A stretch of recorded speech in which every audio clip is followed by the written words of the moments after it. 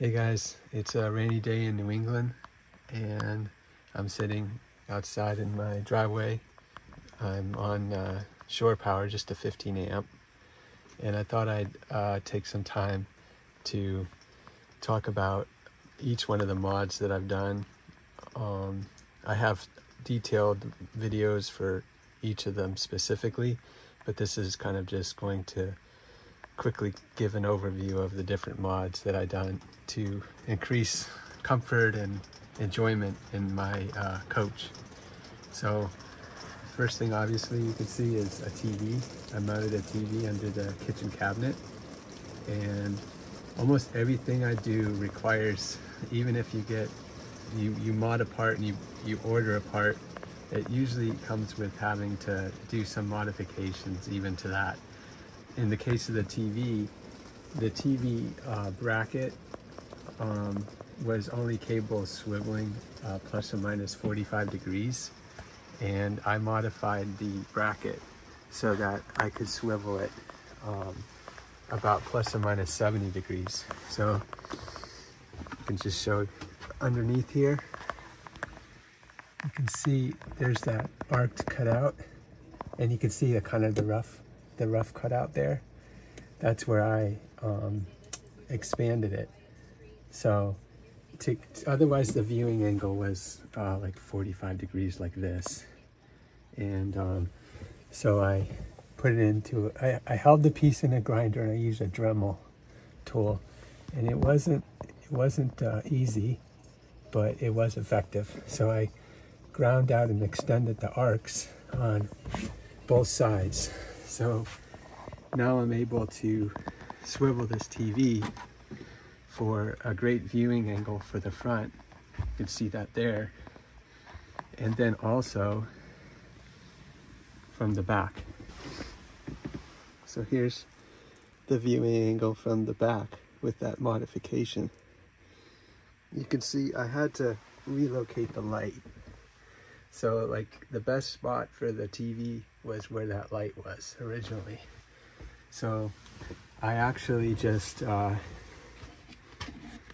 relocated the light. So you can see the four bolts that hold the TV bracket on and the light wiring went down this hole originally so that the light was about where this bracket is. And what I did is I drilled a hole at the back of this channel and I ran it down and mounted the light back there. And while I was at it, I installed a, um, a dimmable light. And this is the only one I've done in the coach so far.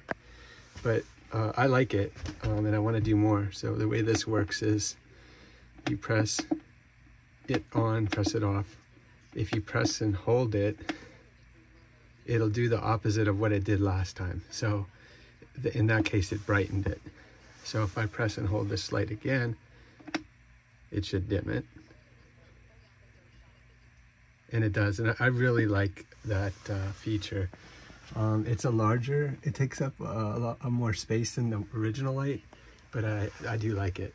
So again, uh, if I kind of lucked out, different size TVs all have different clearances, but this one just makes it past the um, faucet um, for a great viewing angle from the back. So that's that's one of the mods I did and uh, it came out great. I like this TV because it has the over-the-air tuner in it. So I'm able to watch um, live over-the-air TV, which is what I'm doing now. And for that, I just bought uh, this antenna off of um, Amazon and it's worked great. And I can set this antenna up in here where the, um, it, it, wedges perfectly. You have some of your um, canvas for the side of the pop-up and I just set that base on there. If it's a nice day out and the signal's not great, I'll mount the antenna, you know, outside. It has a magnetic base. But it turns out um, I'm able to receive uh, plenty of channels with just this simple system. So I have my over-the-air antenna there and I run I use these uh, for now. I have these uh, straps that hold the screen and I just run that cable down and I plug that coax into the back of the TV. So that's how I have um, a nice TV system. I also installed this uh, WeBoost um, cellular phone amplifier and this was the most um, difficult installation and time consuming of anything I did because I want I had some goals. I wanted to be able to get at the amplifier, mount it securely, not have it take up space, be able to power it on, power it off, be able to monitor it, and uh, do that conveniently. And the um, the box that Winnebago provides, the roof access port, um, actually comes in. So the the the external antenna would come from the roof and um, you could access that external uh, access port from this area in the back of the rear cabinet but I didn't want to mount the um, amplifier here and I didn't want to mount the antenna here so and I want it more of a permanent installation than some of the other solutions. So I have my uh, WeBoost antenna, um, you know, installed on the roof and I can raise and lower it. And what I did is I had to run, I installed um, an outlet. I installed two outlets up here. One is a 115 outlet and one is a 12 volt cigarette lighter. And um, I, when I ran the coax cable, this is um, the one that goes to the external antenna. I had to run that and when I ran that line I also pulled through a 115 some Romex um, 115 line so that I could install an outlet up here to power this. And this 115 volt outlet is um, powered from this outlet back here. And I replaced the RV uh, outlet with a like a um, residential style outlet. And I tapped into that and daisy chained that 115 up to the front. So you pull you pull the uh, external antenna and the 115 lines through the back or the side wall of the coach up to here. So um, and then I have my here's my internal antenna and I can kind of have the um, its its coax cable kind of coiled up right there and I can position that at different places throughout the coach. Another uh, great mod that I did is this uh, duplicate table mod um, where I, I simply just installed an additional table in this raised flooring floor area um, and this table, uh, it's, it's such a simple mod and it really increases the um, usability of the coach. So I have a separate video for this as well, but you know, it, increases the area that you can use to cook and do food prep. Uh, it also provides the same, you know, table to the passenger as it does for the driver and you can actually set these in different configurations like say you're working remote and you need more um, work area for you know the driver seat can be swivel like that and kind of have a, a larger extended workstation so that this was such an, a rewarding mod because it wasn't it was it was a lot more work to figure out where you could drill the hole safely than it was to actually install it. it. So, and what I do is I leave this table up um, and push it to the side and I, I store the new table in its in its original storage spot behind this, behind the seat. So I have this one store uh, just pushed to the side. Um, and I can still use my ladder, but I'm able to move. People are still able to move throughout the coach um, and it's still a great, a strong surface area. Um, whereas if you have a longer table, it, it cantilever and um, it may not be able to withstand uh, weight. So uh, that, that was that was one of the really most rewarding mods that I've done. So, and then you can see I've been working on uh, mattresses. So I ordered some custom mattresses um, to kind of improve the comfort of the mattresses that came with uh, Winnebago Solis. It, it, it makes them uh, thicker and, and a, a dual thickness or dual density foam are in these mattresses. And so it's, it's more, it's gonna be more comfortable. And also I extended the uh, sleep area. I, I, created a custom mattress to extend the sleep area over the uh, table mod in the back, which allows you to put a, a, table that you can order off Amazon back there and you can extend this uh, the surface, the sleeping surface to be like a, a king size bed.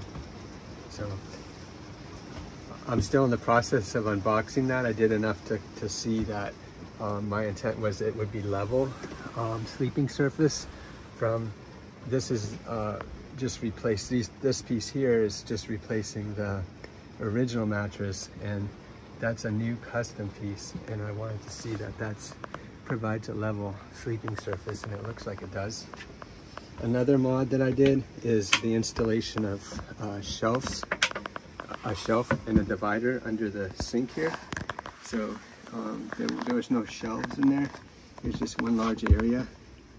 And um, I installed uh, a nice shelf that I can put like these bigger uh, frying pans and uh, plates and I can store some water. You can store whatever you want um, under there. So that was another um, simple mod that was rewarding and got a lot of this stuff that a lot of the stuff that's here I had sitting in my uh, um, in a in a crate and I was storing it under my bed.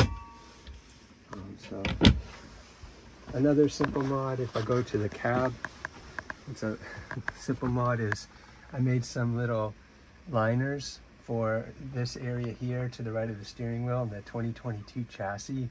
It had a hard plastic exposed screw, and so I, I covered that up with a um, with some custom mats.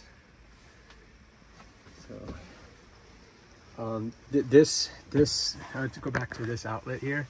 These outlets are great because the only outlets that are available um, are here at the bottom of the the jump seat. So you have a 115, you have a 12 volt here, but when you plug stuff into that, you you you know gets kicked and tripped on, and it's in the way of feet. And uh, I'm sick of buying cables, so I put a um, a 12 volt outlet here, and I run it down to something like this here. I could plug this in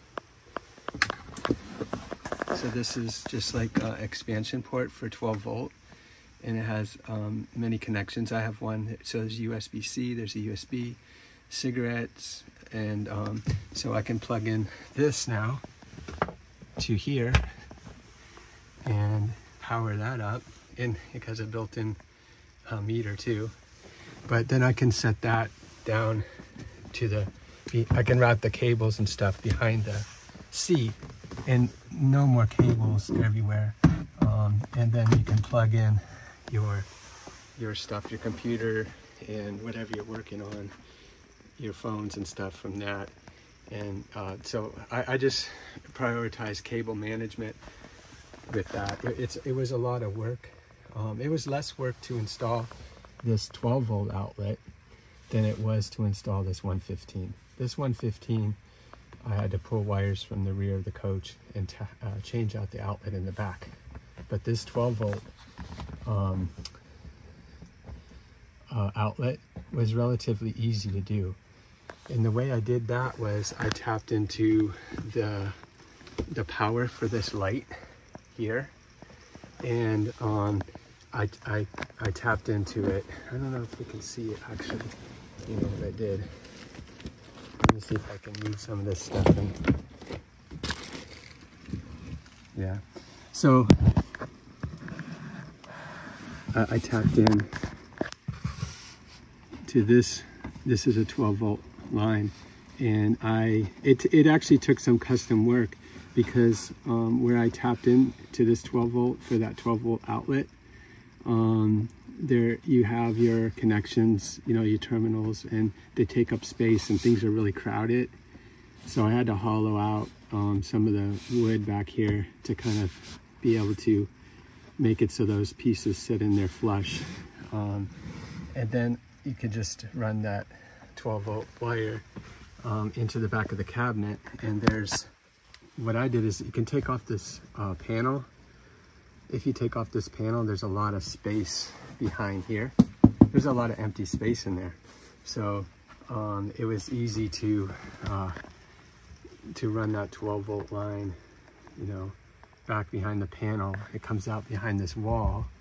I took off this and, um, you know, I drilled the hole to install the outlet and I was able to reach through this when it was not in there um, to, to wire this guy up. Um, so I think that's pretty much it for, except for my uh, garage storage system. It's, uh, it's back there, but I don't think we can really see it. So um, I have some milk crate storage system back there that supports the table that expands the sleeping surface. And um, I, that is, uh, you can find information about that mod in my, um, on my channel. So that's kind of a, a quick tour of a bunch of the different mods they're of various degrees of difficulty. Like some are simple. It's funny, like one of the simpler mods is this table, but it's also one of the most rewarding, like I said. Um, this one's relatively simple, but if you want to expand the viewing angle, it takes a little work to do that. So I just thought I'd share. This coach is awesome. I absolutely love the Winnebago Solis. And uh, I just think it it's just so modular. Uh, and even though I have this made up right now in a king size bed, all of this can be pushed up and um, stowed away to make the aisle open. You know, I because it's not a permanent table or a permanent shelf back there, I can fold down that table in the back um, and uh, stow it flat and be able to get stuff and store it in the back of the garage area. So this is just an amazing coach with a lot of versatility and I'm really enjoying it. So if you guys have any questions or if there's anything that you'd like to see or any mods that you've done, you can uh, comment and uh, I'll check them out.